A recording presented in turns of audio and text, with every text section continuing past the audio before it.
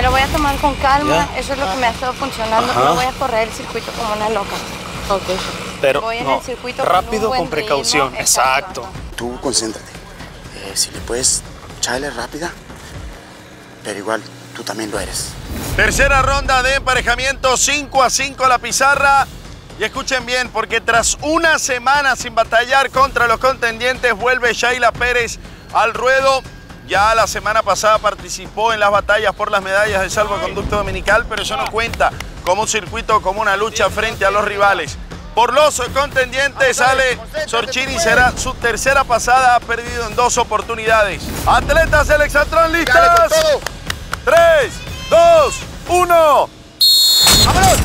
Salta Shai, la última vez que estuvo en una lucha contra los contendientes fue en la mina frente a Yasmín Ibarra.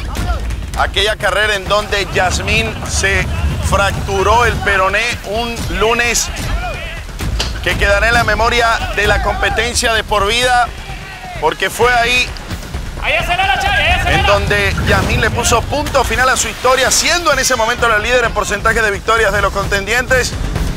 Y ese destino fatídico de Yasmín trajo a Alex Orchini, quien hoy compite frente a la última chica que tuvo la fortuna de batallar frente a Jazz.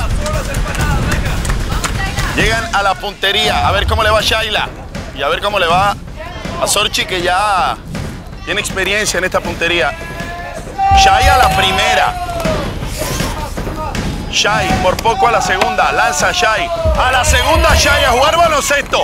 Buen tiempo el que está cosechando. Sorchi ya tiene una en posición también. Shaila adentro. Shaila Pérez lanzó. ¡Impresionante! El regreso de Shai por todo lo alto. 6 a 5 los famosos. Llevaban rato los rojos sin estar por encima en el marcador. Su tiempo, 1.10, la más rápida de la competencia. ¡Famosos! ¡Famosos! Bien, vamos. Fast, so fast. La más rápida hasta el momento. Than the guys. Sí, lo hizo muy rápido. Se tiró, pum, pum, pum. Sí, sí, lo hizo muy rápido. A veces, a veces se les da así muy rápido y hay otros circuitos que Nada. nada. o sea,